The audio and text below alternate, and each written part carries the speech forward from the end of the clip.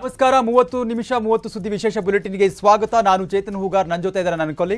ನಾನು ಚೈತ್ರ ರಾಜ್. ಎಸ್ ವೀಕ್ಷಕರೇ ಇವತ್ತು ಬೆಳಗ್ಗೆಯಿಂದ ಆಗಿರುವಂತಹ ವಿದ್ಯಮಾನಗಳ ಪ್ರಮುಖ ಸುದ್ದಿಗಳನ್ನ ಮೂವತ್ತು ಸುದ್ದಿಗಳಲ್ಲಿ ಒಂದೊಂದಾಗಿ ನೋಡ್ತಾ ಹೋಗೋಣ.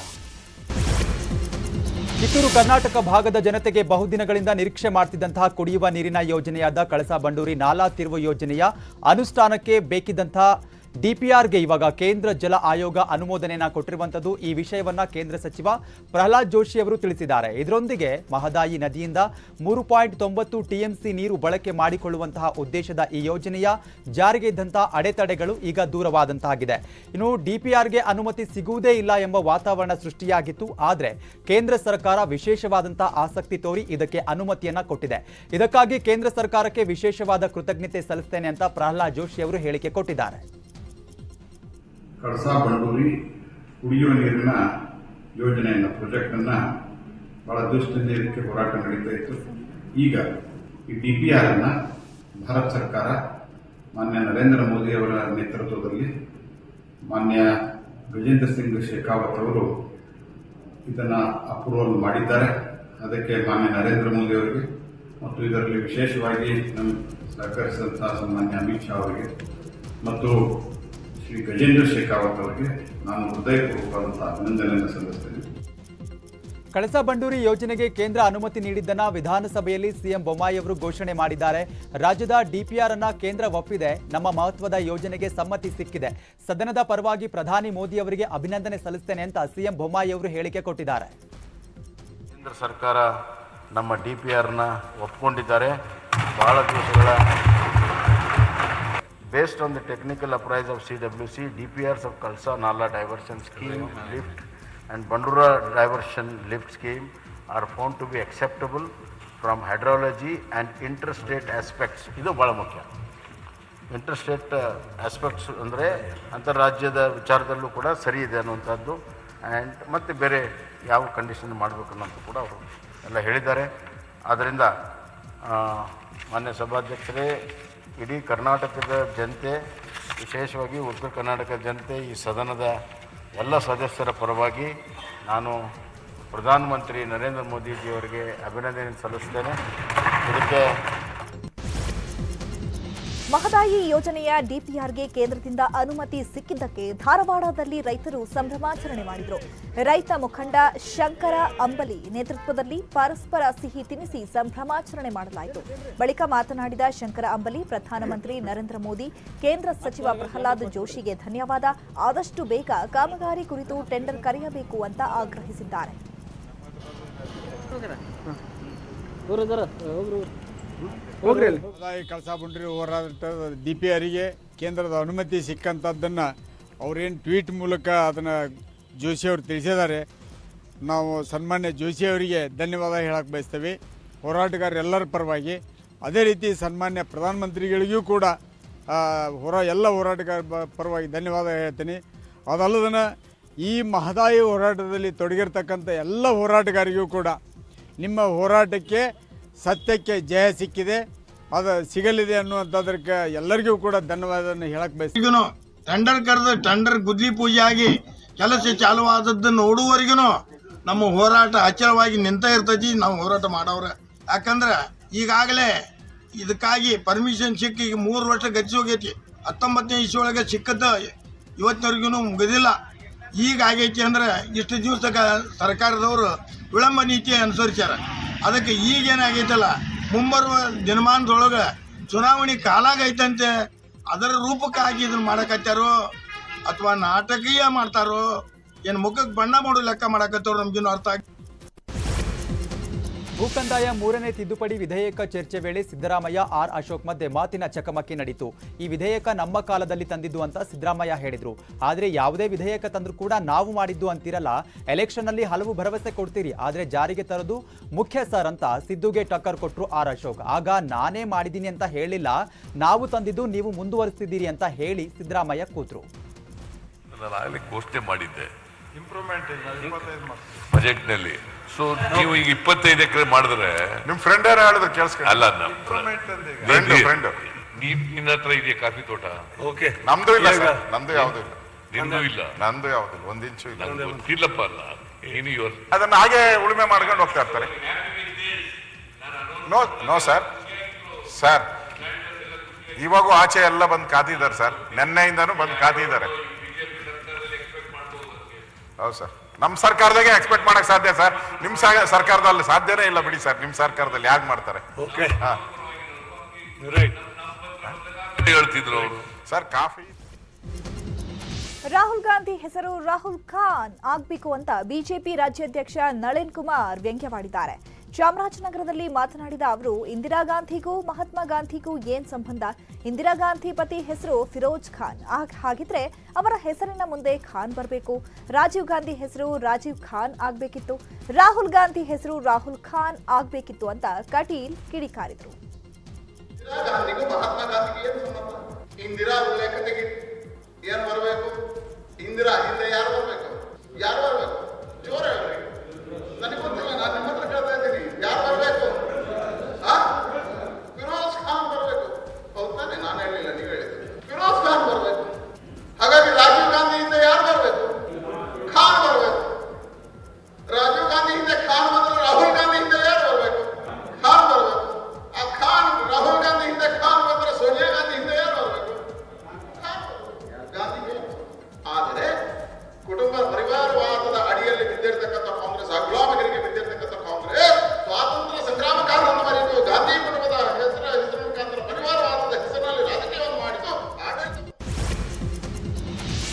ಮೋಸ್ಟ್ ಎಲಿಜಿಬಲ್ ಬ್ಯಾಚುಲರ್ಗಳಲ್ಲಿ ಒಬ್ಬರಾಗಿರುವಂತಹ ರಾಹುಲ್ ಗಾಂಧಿ ತಮ್ಮ ಜೀವನ ಸಂಗಾತಿ ಹೇಗಿರಬೇಕು ಅಂತ ಮನಬಿಚ್ಚಿ ಮಾತನಾಡಿದ್ದಾರೆ ನನ್ನ ಹೆಂಡತಿಯಾಗುವ ಹುಡುಗಿಯಲ್ಲಿ ನನ್ನ ತಾಯಿ ಸೋನಿಯಾ ಗಾಂಧಿ ಮತ್ತು ಅಜ್ಜಿ ಇಂದಿರಾ ಗಾಂಧಿ ಗುಣಗಳು ಇರಬೇಕು ಅಮ್ಮ ಮತ್ತು ಅಜ್ಜಿಯ ವ್ಯಕ್ತಿತ್ವದ ಗುಣಗಳನ್ನು ಹೊಂದಿರದವಳ ಜೊತೆ ನಾನು ಜೀವನವನ್ನ ಹಂಚಿಕೊಳ್ಳಲು ಬಯಸ್ತೇನೆ ಅಂತ ರಾಹುಲ್ ಗಾಂಧಿ ಹೇಳಿಕೆ ಕೊಟ್ಟಿದ್ದಾರೆ Ah, that's an interesting question.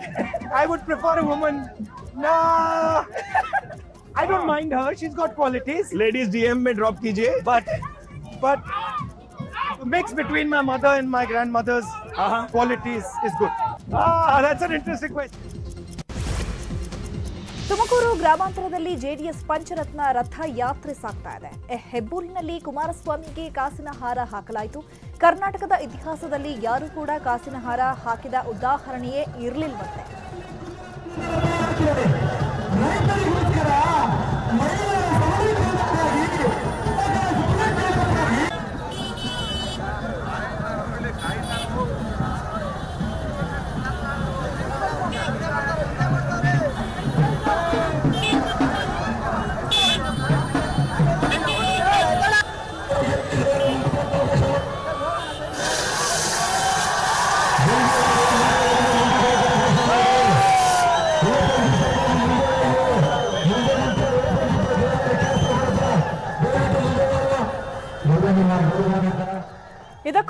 Pancharatna ಯಾತ್ರೆ ಹೆಬ್ಬೂರಿಗೆ ಆಗಮಿಸಿದಾಗ ಕುಮಾರಸ್ವಾಮಿಗೆ ಅದ್ಧೂರಿ ಸ್ವಾಗತ ಕೋರಲಾಯಿತು.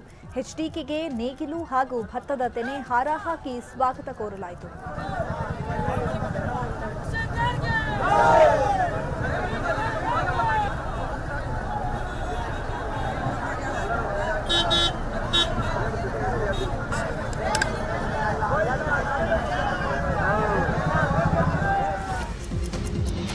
ಸಚಿವ ಜನಾರ್ದನ ರೆಡ್ಡಿ ಕಲ್ಯಾಣ ರಾಜ್ಯ ಪ್ರಗತಿ ಪಕ್ಷ ಘೋಷಿಸಿದ್ದಾರೆ. ಇದರ ಮಧ್ಯೆ ಬಳ್ಳಾರಿ ನಗರ ಕ್ಷೇತ್ರದಿಂದ ರೆಡ್ಡಿ ಪತ್ನಿ ಅರುಣಾ ಲಕ್ಷ್ಮಿ ಕಣಕ್ಕಿಳಿಯುವಂತಹ ಸಾಧ್ಯತೆ ಇದೆ. ರೆಡ್ಡಿ ಬರ್ತ್ಡೇ ಪ್ರಯುಕ್ತ ಜನವರಿ ಹನ್ನೊಂದರಂದು ಬಳ್ಳಾರಿ ನಗರದಲ್ಲಿ ಕೆಆರ್ಪಿಪಿ ಸಮಾವೇಶಕ್ಕೆ ಸಿದ್ಧತೆ ನಡೆಸಿದ್ದು, ರೆಡ್ಡಿ ಪತ್ನಿ ಅರುಣಾ ಲಕ್ಷ್ಮಿ ಸಮಾವೇಶದ ನೇತೃತ್ವದಲ್ಲಿ ವಹಿಸಲಿದ್ದಾರೆ. ಅಂದೇ ಅರುಣಾ ಲಕ್ಷ್ಮಿ ಸ್ಪರ್ಧೆ ಬಗ್ಗೆ ಘೋಷಣೆ ಮಾಡ್ತಾರೆ ಎನ್ನಲಾಗ್ತಿದೆ. ಬಳ್ಳಾರಿ ನಗರ ಕ್ಷೇತ್ರದಲ್ಲಿ ಬಿಜೆಪಿಯ ಸೋಮಶೇಖರ್ ರೆಡ್ಡಿ ಶಾಸಕರಾಗಿದ್ದಾರೆ. ಇದೀಗ ಸೋಮಶೇಖರ್ ರೆಡ್ಡಿ ತಮ್ಮ ನಾದಿನಿ ವಿರುದ್ಧ ಸ್ಪರ್ಧೆ ಮಾಡ್ತಾರಾ ಇಲ್ವಾ ಅನ್ನುವಂಥ ಚರ್ಚೆ ಕೂಡ ಜೋರಾಗಿದೆ.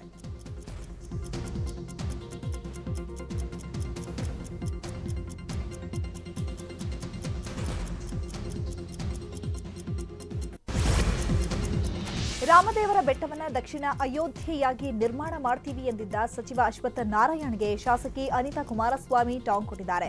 ಬಿಜೆಪಿ ಅವರಿಗಿಂತಲೂ ನಮಗೆ ದೇವರ ಮೇಲೆ ಹೆಚ್ಚಿನ ನಂಬಿಕೆ ಇದೆ.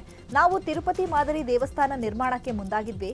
ಅಷ್ಟರಲ್ಲಿ ಸರ್ಕಾರ ಪತನವಾಯಿತು ಅಂತ ಅನಿತಾ ಕುಮಾರಸ್ವಾಮಿ ಹೇಳಿದ್ದಾರೆ. ತಿರುಪತಿ ದೇವಸ್ಥಾನದವರೇ ಬಂದು ಇಲ್ಲಿ ಒಂದು ದೇವಸ್ಥಾನ ನಿರ್ಮಾಣ ಮಾಡ್ತೀವಿ ಅಂತ ಆಗ ಇವು ಕುಮಾರಸ್ವಾಮಿ ಅವ್ರನ್ನ ಕೇಳ್ಕೊಂಡಿದ್ರು. ಆ ಸಂದರ್ಭದಲ್ಲಿ ಎಲ್ಲ ರೆಡಿ ಹತ್ತು ಎಕರೆ ಜಮೀನು ಹುಡುಕಿಸಿ ಎಲ್ಲ ರೆಡಿ ಮಾಡ್ತಾ ಇದ್ರು. ಆಗ ಸರ್ಕಾರ ಹೋಗಿದೆ. ಮುಂದೆ ಇದನ್ನ ಇದನ್ನು ಕೈಗೆತ್ಕೊಂಡು ಮಾಡಬೇಕು ಅನ್ನೋ ಆಸೆ ನಮಗಿದೆ. ದೇವರು ದಿಂಡ್ರು ಅನ್ನೋದು ದೇವೇಗೌಡರಿಗೂ, ದೇವೇಗೌಡರು ಫ್ಯಾಮಿಲಿ ಅದ ನಮಗೂ ಇದೆ. ಬಿ ಜೆ ಪಿಯವ್ರಿಗಿಂತ ಹೆಚ್ಚಿಗೆ ಇದೆ ನಮಗೆ ಭಕ್ತಿ. ಸುವರ್ಣಸೌಧದ ವಿಧಾನಸಭೆ ಸಭಾಂಗಣದಲ್ಲಿ ಸಾವರ್ಕರ್ ಫೋಟೋ ಅನಾವರಣ ಮಾಡಲಾಗಿತ್ತು. ಇದೀಗ ಬೆಳಗಾವಿಯ ಹಿಂಡಲಗ ಜೈಲಿನಲ್ಲಿ ವೀರ ಸಾವರ್ಕರ್ ಫೋಟೋ ಅನಾವರಣ ಮಾಡಲಾಗಿದೆ. ಹಿಂಡಲಗ ಜೈಲಿನಲ್ಲಿ ಸಾವರ್ಕರ್ ನೂರು ದಿನ ವಿಚಾರಣಾಧೀನ ಕೈದಿಯಾಗಿದ್ರು. ಸಾವಿರದ ಒಂಬೈನೂರ ಐವತ್ತರ ಜುಲೈ ಹದಿಮೂರರಂದು ಬೆಳಗಾವಿ ಹಿಂಡಲಗ ಜೈಲಿನಿಂದ ರಿಲೀಸ್ ಆಗಿದ್ರು. ಇನ್ನು ಫೋಟೋ ಅನಾವರಣದ ಬಳಿಕ ಮಾತನಾಡಿದ ಎಂಎಲ್ಸಿ ರವಿಕುಮಾರ್ ಸಾವರ್ಕರ್ ಜೀವನಗಾಥೆಯನ್ನ ಪಠ್ಯ ಪಠ್ಯದಲ್ಲಿ ಅಳವಡಿಕೆ ಮಾಡಬೇಕು ಅಂತ ಆಗ್ರಹಿಸಿದ್ದಾರೆ. ಸ್ವತಂತ್ರ ವೀರ ಸಾವರ್ಕರ್ ಅವರಿಗೆ.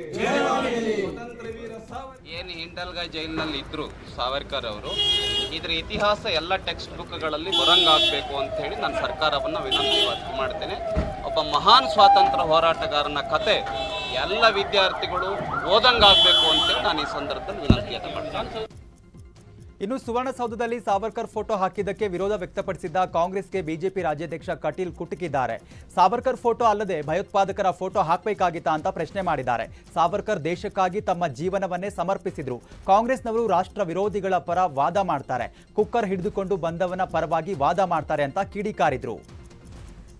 ಈ ದೇಶಕ್ಕೋಸ್ಕರ ಹೋರಾಟ ಮಾಡಿದ್ದಾರೆ. ಈ ದೇಶಕ್ಕೋಸ್ಕರ ತನ್ನ ಜೀವನವನ್ನು, ಯೌವನವನ್ನು ಸಮರ್ಪಣೆ ಮಾಡಿದ್ದಾರೆ. ಅವರು ಫೋಟೋ ಹಾಕಿದ್ರಲ್ಲಿ ತಪ್ಪೇನಿದೆ. ಮತ್ತೆ ಯಾರ್ದು ಇವ್ರದ್ದು ಹಾಕ್ಬೇಕಿತ್ತ? ಭಯೋತ್ಪಾದಕರದ್ದು ಹಾಕ್ಬೇಕಿತ್ತ?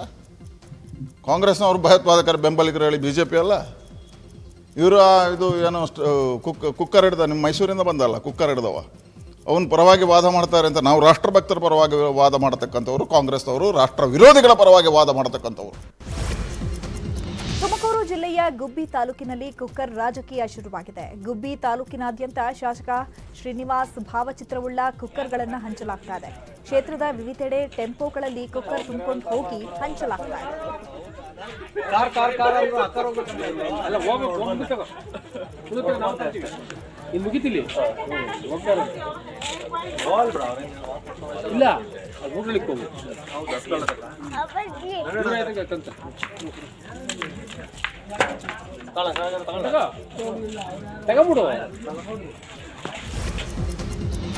ಸಂಸದ ಜಿಗಜಣಗಿ ಕಾಂಗ್ರೆಸ್ ಪಕ್ಷಕ್ಕೆ ಹೋಗ್ತಾರಾ ಎಂಬ ವದಂತಿ ಹಬ್ಬಿದೆ. ಅದ್ರ ಬಗ್ಗೆ ಮಾತನಾಡಿದ ಜಿಗಜಣಗಿ, ಗೋರಿಯಲ್ಲಿ ಕಾಲುಡಕ್ಕೆ ಹೋಗುವಾಗ ಕಾಂಗ್ರೆಸ್ ಪಕ್ಷಕ್ಕೆ ಹೋಗಕ್ಕಾಗುತ್ತಾ? ನಾನು ಹುಟ್ಟಿನಿಂದಲೂ ಕೂಡ ಕಾಂಗ್ರೆಸ್ ವಿರೋಧಿ, ಕಾಲೇಜು ದಿನಗಳಿಂದಲೂ ಕೂಡ ಕಾಂಗ್ರೆಸ್ ವಿರೋಧಿ ನಾನು. ಇನ್ನು ಬಾಬಾ ಸಾಹೇಬ್ ಅಂಬೇಡ್ಕರ್ಗೆ ಕಾಂಗ್ರೆಸ್ ಮಾಡಿದಂತಹ ಅನ್ಯಾಯದಿಂದ ನಾನು ಆ ಪಕ್ಷಕ್ಕೆ ಮೊದಲಿನಿಂದಲೂ ಕೂಡ ವಿರೋಧ ವ್ಯಕ್ತಪಡಿಸ್ತಾ ಇದ್ದೇನೆ, ಅಂತ ಹೇಳಿದ್ದಾರೆ. ಅಲ್ರಿ, ಗೋರ್ಯಾ ಕಾಲು ಇಳಿಬಿಟ್ಟಿದ್ದೆವು ಇನ್ನು ಕಾಂಗ್ರೆಸ್ಗೆ ಹೋಗೋದ? ಹೇಳಿ ನೀವೇ. ಐವತ್ತು ನಲವತ್ತೈದು ಐವತ್ತು ನೋಡ್ರಿ, ನಾವು ಹುಟ್ಟಿದಾಗಿಂದ ಕಾಂಗ್ರೆಸ್ ವಿರೋಧಿ. ನನಗೆ ತಿಳಿದ ಮೇಲೂ ಕಾಂಗ್ರೆಸ್ ವಿರೋಧಿ. ನಾನು ಕಾಲೇಜ್ ದಿನಗಳಲ್ಲಿ ಇದ್ದಾಗೂ ಕೂಡ ನಾನು ವಿರೋಧಿ. ಕಾರಣ ಏನು ಅಂದ್ರೆ, ಬಾಬಾ ಸಾಹೇಬ್ ಅಂಬೇಡ್ಕರ್. ಕಾಂಗ್ರೆಸ್ ಮಾಡಿರ್ತಕ್ಕಂಥ ಅನ್ಯಾಯ ನಮ್ಮ ದೇಶದ ನಾಯಕನಿಗೆ ಯಾರೂ ಮಾಡಲಿಲ್ಲ. ಅಷ್ಟೊಂದು ಅನ್ಯಾಯ ಮಾಡೋದು. ಆ ಒಂದು ಪರಿಜ್ಞಾನ ನನ್ನ ಮನಸ್ಸಿನಲ್ಲಿತ್ತು. ನಾನು ವಿದ್ಯಾವಂತ. ನಾನು ಬ ಸಂಪೂರ್ಣವಾಗಿ ನಾನು ಆ ಅದನ್ನು ಎಲ್ಲ ಇವ್ರ ಕತೆ. ಅದಕ್ಕಾಗಿ ಆ ಭಾವನೆ ಮುಂಚೆನಿಂದೂ ಇತ್ತು, ಈಗೂ ಅದ, ನಾನು ಯಾವ ಕಾರಣಕ್ಕೂ ದಕ್ಷಿಣ ಕನ್ನಡದ ಸುಳ್ಯ ಡೆಂಟಲ್ ಕಾಲೇಜಿನಲ್ಲಿ ರ್ಯಾಗಿಂಗ್ ಭೂತಕ್ಕೆ ವಿದ್ಯಾರ್ಥಿನಿ ನಲುಗಿದ್ದಾಳೆ. ಪರಿಶಿಷ್ಟ ಜಾತಿಗೆ ಸೇರಿದ ವಿದ್ಯಾರ್ಥಿನಿ ರ್ಯಾಂಕ್ ಪಡೆದಿದ್ಲು. ಅದೇ ಕಾರಣಕ್ಕೆ ಸಹಪಾಠಿಗಳೇ ವಿದ್ಯಾರ್ಥಿನಿಗೆ ರ್ಯಾಗಿಂಗ್ ಮಾಡಿ ಹಲ್ಲೆ ಮಾಡಿದ್ದಾರೆ. ಕೇರಳ ಮೂಲದ ಆರು ವಿದ್ಯಾರ್ಥಿಗಳು ಬೆಂಗಳೂರು ಮೂಲದ ವಿದ್ಯಾರ್ಥಿನಿಗೆ ಕಿರುಕುಳ ನೀಡುತ್ತಿದ್ರಂತೆ. Vishakh, Aishwarya, Rishikesh Kumar, Daya, R Varghese, Daniel, Sebastian Alpha Marys ಎಂಬ ವಿದ್ಯಾರ್ಥಿಗಳ ತಂಡ. ನೀವು ಸಂಘಿಗಳು, ನಿಮ್ಮನ್ನ ಪ್ರವೀಣರು ಪ್ರವೀಣ್ ನೆಟ್ಟಾರು ರೀತಿ ಸಾಯಿಸಿ ಕೇರಳಕ್ಕೆ ಹೋಗ್ತೀವಿ ಅಂತ ಹೇಳಿದ್ರಂತೆ. ಅಲ್ಲದೆ ವಿದ್ಯಾರ್ಥಿನಿಯ ಅಣ್ಣನ ಎದುರೇ ಮಾರಣಾಂತಿಕ ಹಲ್ಲೆ ಮಾಡಿದ್ರಂತೆ. ಆದ್ರಿಂದ ನೊಂದಂತಹ ವಿದ್ಯಾರ್ಥಿನಿ ಸುಳ್ಯ ಠಾಣೆಯಲ್ಲಿ ದೂರು ದಾಖಲು ಮಾಡಿದ್ದು ಎಫ್ಐಆರ್ ಕೂಡ ದಾಖಲಾಗಿದೆ. ಪ್ರಕರಣದ ಬಗ್ಗೆ ಕಾಲೇಜು ಪ್ರಾಂಶುಪಾಲರು ಸ್ಪಷ್ಟನೆ ನೀಡಿದ್ದು, ಕಾಲೇಜಿನಿಂದ ಆರು ಪ್ರಾಧ್ಯಾಪಕರ ತಂಡವನ್ನು ರಚಿಸಿ ತನಿಖೆ ಮಾಡಿಸ್ತಾ ಇದ್ದೇವೆ. ಆರೋಪಿಗಳಾದ ವೈಶಾಖ್ ಹನೀಶ್ನನ್ನ ಒಂದು ವಾರ ಅಮಾನತು ಮಾಡಿದ್ದೇವೆ ಅಂತ ಹೇಳಿದ್ದಾರೆ. ಟ್ವೆಂಟಿ ಫಸ್ಟ್ ರಾತ್ರಿ ಹತ್ತು ಗಂಟೆ ವಿಶಾಖ ಡಾಕ್ಟರ್ ವಿಶಾಖ ಅಟ್ಯಾಕ್ ಮಾಡಿದ್ರು ಸರ್ ಆರು ತಿಂಗಳು ತುಂಬ ಟಾರ್ಚರ್ ಮಾಡ್ತಿದ್ರು ಕಾಲೇಜಲ್ಲಿ ಕಾಲೇಜ್ ಹೆಚ್ ಓಡಿಗೆಲ್ಲ ಹೇಳಿದ್ರು ಅವ್ರು ಯಾವುದೇ ಆಕ್ಷನ್ ತಗೊಂಡಿಲ್ಲ ಆಮೇಲೆ ಮನೆಯಲ್ಲೂ ಹೇಳಿದ್ರು ಬಂದಲ್ಲಿ ಮಾತಾಡಿದ್ರು ಮನೇಲಿ ಮತ್ತೆ ಕರ್ಕೊಂಡ್ಬಂದು ಟ್ರೀಟ್ಮೆಂಟ್ ಕೊಡಿಸ್ತಿದ್ರು ತುಂಬ ಮಾನಸಿಕ ಕಿರುಕುಳ ಕೊಡ್ತಿದ್ರು ರ್ಯಾಂಕ್ ಫೆಬ್ರವರಿಲಿ ರ್ಯಾಂಕ್ ಲಿಸ್ಟ್ ಬಂತು ಹೀಗೆ ಜೂನಿಂದ ನಾನು ಕಾಲೇಜಲ್ಲೇ ಇದ್ದೆ ಪೆರಿಫರಲ್ ಪೋಸ್ಟಿಂಗ್ ಮುಗಿಸ್ಕೊಂಡು. ಆಗಿಂದ ನನ್ನ ಐಸೋಲೇಟ್ ಮಾಡಿ ಕೇಸಸ್ ತಗೋಬಾರ್ದು ಟಾರ್ಚರ್ ಮಾಡ್ತಾರೆ ನನ್ನ ಕೇಸ್ ಹೋಗಿ ರೋಡಲ್ಲಿ ಹುಡ್ಕೊಬಂದ್ರು ಅದು. ಐಶ್ ಡಾಕ್ಟರ್ ಐಶ್ವರ್ಯ ಮತ್ತು ಡಾಕ್ಟರ್ ದಯಾನ್ ಅವ್ರು ಕರ್ಕೊಂಬಂದು ಕಾಲೇಜ್ನ ಡೋರ್ನಲ್ಲೇ ಡಿಪಾರ್ಟ್ಮೆಂಟ್ ಡೋರ್ನಲ್ಲೇ ಧಮಕಿ ಹಾಕಿದ್ದಾರೆ. ಯಾವುದೇ ಕಾರಣಕ್ಕೂ ಇಲ್ಲಿ ಇರಬಾರ್ದು, ಹೋಗ್ಬಿಡಿ ಇಲ್ಲಿಂದ ಅಂತ ಎಲ್ಲ ಹೇಳಿ. ಮತ್ತು ಅದನ್ನು ನಮ್ಗೆ ತಿಳಿಸ್ತಾರೆ. ತಿಳಿಸಿದ ತಕ್ಷಣ ನಾನು ಅವತ್ತಿನ ದಿವಸನೇ ಎಚ್ ಓ ಡಿ ಕೂಡ ನಂಗೆ ಕಾಲ್ ಮಾಡ್ತಾರೆ. ಯಾವತ್ತಿ ಘಟನೆ ಆಯ್ತು ಅವತ್ತಿನ ದಿವಸ. ನಾನು ಅಲ್ಲೇ ಇದ್ದೆ, ಎದುರ್ಕೊಂತಿದ್ಲು ಹಣ ಇರಿ ಇರಿ ಅಂತ ರಿಕ್ವೆಸ್ಟ್ ಮಾಡಿ ಅಲ್ಲೇ ಇದ್ದೆ. ನೆಕ್ಸ್ಟ್ ದಿನ ನಾನು ಬೆಂಗಳೂರು ಬರಬೇಕಿತ್ತು ಈವ್ನಿಂಗು ಊಟ ಮಾಡಿಸಿ ಮತ್ತೆ ನಮ್ಮ ಡ್ರೈವರು ನಾನು ಊಟಕ್ಕೆ ಹೋಗಿದ್ವಿ. ಊಟಕ್ಕೆ ಹೋಗಿ ಉಡುಪಿ ಹೋಟ್ಲಲ್ಲಿ ಊಟ ಮಾಡಿ ವಾಪಸ್ ಹೋಗ್ಬೇಕಾದ್ರೆ ಆ ಹುಡುಗನ ಡ್ರಾಪ್ ಮಾಡೋಕ್ಕೆ ಮನೆ ಹತ್ರ ಹೋಗ್ತಿದ್ರೆ ಒಂದು ಕೆಂಪು ಕಲರ್ ಆಲ್ಟೋ ಕಾರು ಫೋನ್ ಮಾಡಿ, ಇವ್ನು ಏಕಾಏಕಿ ಇಳಿದಿದ್ದೇನೆ, ಕೆಟ್ಟ ಕೆಟ್ಟದಾಗಿ ಅವಾಚ್ಯವಾಗಿ ಬೈಯೋದಿಲ್ಲ ಸ್ಟಾರ್ಟ್ ಮಾಡ್ದೆ. ನಾನು ಇದೀನಿ ನೀನು ಯಾರೋ ಯಾಕೋ ಬೈತಾ ಇದೆಯಾ ಅನ್ನೋಷ್ಟಕ್ಕೆ ಕಿರ್ಚಾವ್ ಸ್ಟಾರ್ಟ್ ಮಾಡಿ ನಾವು ಹಿಡ್ಕೊಳ್ಳೋಕ್ಕೆಲ್ಲ ಪ್ರಯತ್ನ ಪಟ್ವಿ ಸುಮಾರು ಜನ ಇದ್ರು ಅವರು. ನಮ್ಮನ್ನು ಹಿಡ್ಕೊಂಡು ನಮಗೂ ಹೊಡೆದ್ರು ಎಲ್ಲ ಮಾಡಿದ್ರು. ಆಗಿಲ್ಲ ನಾನು ಇಮಿಡಿಯೇಟ್ಲಿ ಪ್ರಿನ್ಸಿಪಾಲ್ ಕಾಲ್ ಮಾಡಿ ಹೇಳಿದೆ, ಮೇಡಮ್ ಈ ಥರ ಹೊಡೆದಿದ್ದಾರೆ. ಏನು ಮಾಡೋದು ಅಂತ? ರ್ಯಾಪಿಡೋ ಬೈಕ್ ಟ್ಯಾಕ್ಸಿ ಬ್ಯಾನ್ ಮಾಡಿ ಬೌನ್ಸ್ ಎಲೆಕ್ಟ್ರಿಕ್ ಬೈಕ್ಗೆ ಅನುಮತಿ ನೀಡಿರುವಂತ ಅನುಮತಿ ನೀಡಿದ್ದು ವಾಪಸ್ ಪಡೆಯುವಂತೆ ಒತ್ತಾಯಿಸಿ ಆಟೋ ಚಾಲಕರು ಮುಷ್ಕರ ನಡೆಸ್ತಾ ಇದ್ದಾರೆ. ಇದೇ ಸಂದರ್ಭದಲ್ಲಿ ಫ್ರೀಡಂ ಪಾರ್ಕ್ನಲ್ಲಿ ಆಟೋ ಚಾಲಕರು ಹೈ ಡ್ರಾಮಾ ಮಾಡಿದ್ದಾರೆ. ವಿಧಾನಸೌಧಕ್ಕೆ ಮುತ್ತಿಗೆ ಹಾಕೋದಕ್ಕೆ ಹೊರಟ ಆಟೋ ಚಾಲಕರಿಗೆ ಪೊಲೀಸರು ಸರ್ಕ, ಸರ್ಪಗಾವಲು ಹಾಕಿದ್ದಾರೆ. ವಿಧಾನಸೌಧ ಮುತ್ತಿಗೆಗೆ ಹೊರಟಂತ ಚಾಲಕರನ್ನ ವಶಕ್ಕೆ ಪಡೆದು ಆಟೋ ಚಾಲಕರನ್ನ ಬಿಎಂಟಿಸಿ ಬಸ್ನಲ್ಲಿ ಕರೆದೊಯ್ತಿದ್ದಾಗ ಕೆಳಗಿಳಿದು ಮತ್ತೆ ಹೈಡ್ರಾಮಾ ಮಾಡಿದ್ರು. ಆಗ ಆಟೋ ಚಾಲಕರು ಹಾಗೂ ಪೊಲೀಸರ ನಡುವೆ ಗಲಾಟೆ ನಡೆಯಿತು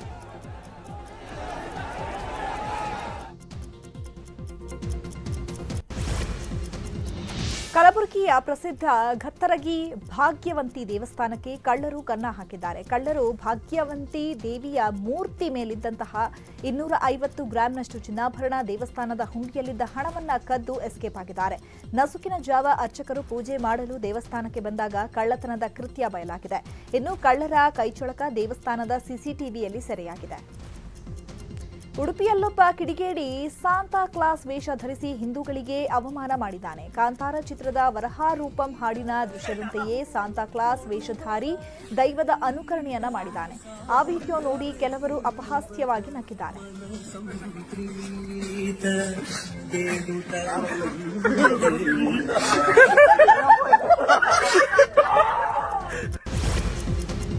ಕೋಲಾರದಲ್ಲಿ ನಡೀತಾ ಇರುವಂತಹ ಗಣಿಗಾರಿಕೆಯಿಂದ ಹಳ್ಳಿಗಳ ಜನರು ಕಂಗಾಲಾಗಿ ಹೋಗ್ತಿದ್ದಾರೆ. ಗ್ರಾಮೀಣ ಭಾಗದಲ್ಲಿ ಹಳ್ಳ ಬಿದ್ದಿರುವಂತಹ ರಸ್ತೆಗಳಲ್ಲಿ ಬೃಹತ್ ಟಿಪ್ಪರ್ಗಳು ಸಂಚರಿಸ್ತಾ ಇದ್ದು, ಮನೆ, ಶಾಲೆ, ಅಂಗಡಿ, ವಾಟರ್ ಫಿಲ್ಟರ್ ಮೇಲೆಲ್ಲ ಧೂಳು ಕೂರ್ತಾ ಇದೆ. ಇನ್ನು ಆನಿಮಿಟ್ಟಿನಹಳ್ಳಿ ಗ್ರಾಮದ ರಸ್ತೆಯಲ್ಲಿ ಟಿಪ್ಪರ್ ಲಾರಿಗಳು ಅಕ್ರಮವಾಗಿ ಓಡಾಡ್ತಾ ಇದ್ದಾವೆ.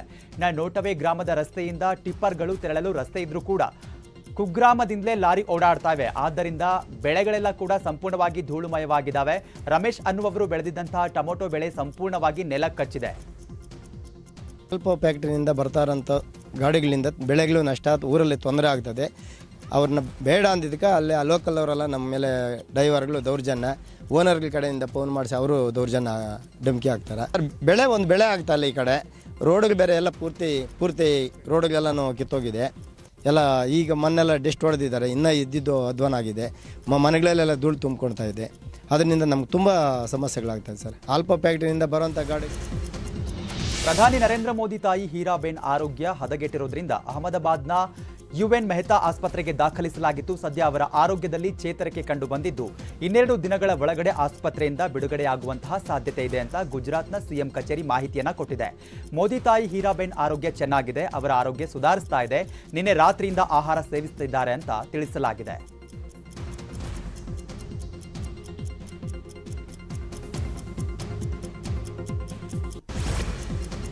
ಹಾಸನದ ಕೊರಿಯರ್ ಶಾಪ್ನಲ್ಲಿ ಮೆಕ್ಸಿ ಸ್ಫೋಟ ಪ್ರಕರಣದ ಆರೋಪಿ ಅನೂಪ್ನ ಇನ್ನೊಂದು ಕರಾಳ ಮುಖವೂ ಬಯಲಾಗಿದೆ.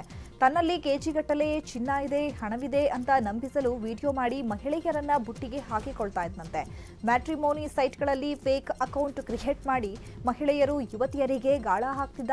ತನ್ನ ಬಳಿ ಕೆಜಿಗಟ್ಟಲೆ ಬಂಗಾರ ಇದೆ ಬಂಗಾರದ ಬಿಸ್ಕೆಟ್ ಇದೆ ಕೋಟಿ ಕೋಟಿ ಹಣ ಇದೆ ಅಂತ ತೋರಿಸುವಂತೆ ಫೇಕ್ ವಿಡಿಯೋ ಕ್ರಿಯೇಟ್ ಮಾಡಿ ನಕಲಿ ಬಂಗಾರದ ಜೊತೆ ವಿಡಿಯೋ ಮಾಡಿ ಮಹಿಳೆಯರನ್ನ ನಂಬಿಸಿ ವಂಚನೆ ಮಾಡ್ತಿದ್ದ. ಇಬ್ರಿಗೂ ತೋರಿಸು ಈಗ ವಾಟ್ಸಪ್ ಕಳಿಸ್ತೀನಿ. ಬೇಸಿಕಲಿ ಮ್ಯಾಟ್ರಿಮೋನಿಯಲ್ ವೆಬ್ಸೈಟಲ್ಲಿ ಹೋಗಿ ಈ ಥರ ಪ್ರೊಫೈಲ್ ಕ್ರಿಯೇಟ್ ಮಾಡಿಕೊಂಡು ಅದರಲ್ಲಿ ಏನಾದರೂ ಕಾಂಟ್ಯಾಕ್ಟ್ ಆಗಿದರೆ ಆ ಮಹಿಳೆಯರ ಜೊತೆ ಮೆಸೇಜ್ ಹಾಕ್ಬೋದು. ಮತ್ತು ಒಂದಷ್ಟು ಫೇಕ್ ವೀಡಿಯೋಸನ್ನು ಕಳಿಸೋದು. ನನ್ನ ಹತ್ರ ಸುಮಾರಷ್ಟು ದುಡ್ಡಿದೆ. ನನ್ನ ಹತ್ರ ಸುಮಾರಷ್ಟು ಗೋಲ್ಡ್ ಇದೆ. ನಾನು ತುಂಬ ಶ್ರೀಮಂತರಿದ್ದೀನಿ ಅಂತ ರೀತಿಯಲ್ಲಿ ತೋರಿಸೋ ಹಾಗೆ ವೀಡಿಯೋಸ್ ಇವಳಿಗೂ ಸಹ ಕಳಿಸಿದ್ದಾರೆ. ಆ ವೀಡಿಯೋಸ್ ನಾವು ಆಲ್ರೆಡಿ ರಿಟ್ರೀವ್ ಮಾಡಿದ್ದೀವಿ. ಈ, ಇದೇ ವ್ಯಕ್ತಿ ಇದೇ ವ್ಯಕ್ತಿ ಇದೇ ವ್ಯಕ್ತಿ ಆಲ್ಮೋಸ್ಟ್ ಒಂದು ನಾಲ್ಕೈದು ತಿಂಗಳ ಮುಂಚೆ ಈ ಲೇಡಿದು ಮೊಬೈಲ್ ಫೋನ್ಗೆ ಬಾಂಬ್ ಹೆಂಗೆ ಮಾಡಬೇಕು ಅಂತ ರೀತಿಯಲ್ಲಿ ಒಂದು ವಿಡಿಯೋ ಕಳಿಸ್ತಾನೆ. ಸೊ ಈ ವ್ಯಕ್ತಿ ಈ ರೀತಿಯಲ್ಲಿ ಉಡುಪಿಯ ಅಲಂಗಾರು ಶಾಲೆಯಲ್ಲಿ ಕುಡಿದು ಶಾಲೆಯ ಜಗಿಲಿಯಲ್ಲೇ ಮಲಗ್ತಾ ಇದ್ದಂಥ ಶಿಕ್ಷಕನ ಅಮಾನತು ಮಾಡಲಾಗಿದೆ. ಶಿಕ್ಷಕ ಕೃಷ್ಣಮೂರ್ತಿ ವಿದ್ಯಾರ್ಥಿಗಳ ಎದುರೆ ಕುಡಿದು ಶಾಲೆಯಲ್ಲೇ ಮಲಗ್ತಾ ಇದ್ದ. ನಿನ್ನೆ ನ್ಯೂಸ್ ಏಟಿನಲ್ಲಿ ಕೃಷ್ಣಮೂರ್ತಿ ಸುದ್ದಿ ಪ್ರಸಾರವಾಗ್ತಿತ್ತು. ಅದರ ಬೆನ್ನಲ್ಲೇ ಶಿಕ್ಷಕನನ್ನ ಅಮಾನತು ಮಾಡಲಾಗಿದೆ. ಭಾರತೀಯ ವಾಯುಸೇನೆ ಬ್ರಹ್ಮೋಸ್ ಕ್ಷಿಪಣಿಯ ಸುಧಾರಿತ ಆವೃತ್ತಿಯನ್ನ ಯಶಸ್ವಿಯಾಗಿ ಪರೀಕ್ಷೆ ನಡೆಸಿದೆ. ಸುಖೋಯ್ ಎಂ ಥರ್ಟಿ ಯುದ್ಧ ವಿಮಾನದಿಂದ ಹಾರಿದ ಬ್ರಹ್ಮೋಸ್ ಕ್ಷಿಪಣಿ ಗುರಿಯನ್ನ ನಿಖರವಾಗಿ ತಲುಪಿದೆ.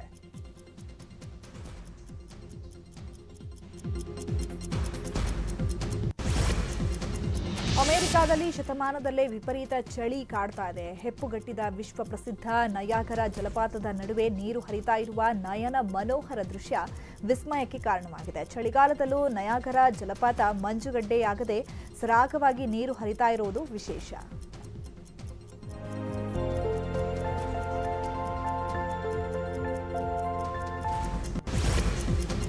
ಕೊಪ್ಪಳದ ವಿಶ್ವ ಪ್ರಸಿದ್ಧ ಆಂಜನೇಯ ಸ್ವಾಮಿ ಹುಂಡಿಯಲ್ಲಿ ಲಕ್ಷಾಂತರ ರೂಪಾಯಿ ಹಣ ಸಂಗ್ರಹವಾಗಿದೆ. ಕಳೆದ ಒಂದೇ ತಿಂಗಳಲ್ಲಿ ಇಪ್ಪತ್ತಾರು ಲಕ್ಷದ ಮೂವತ್ಮೂರು ಸಾವಿರ ರೂಪಾಯಿ ಸಂಗ್ರಹವಾಗಿದೆ. ಜೊತೆಗೆ ಆರು ವಿವಿಧ ದೇಶಗಳ ನಾಣ್ಯಗಳು ಕೂಡ ಸಂಗ್ರಹವಾಗಿದೆ.